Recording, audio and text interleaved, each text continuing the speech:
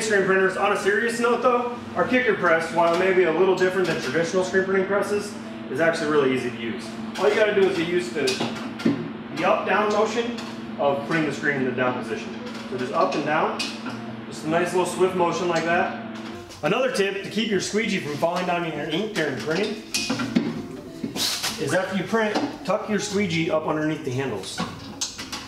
Doesn't take that much longer than a normal thing. Final tip, keep some multi-purpose spray lube handy. Your kicker device, after a lot of spray tack and everything's been used, you might find that the device gets a little sticky. Just go ahead and give it a couple little squirts, and that'll keep it moving nice and freely so it's easy to use.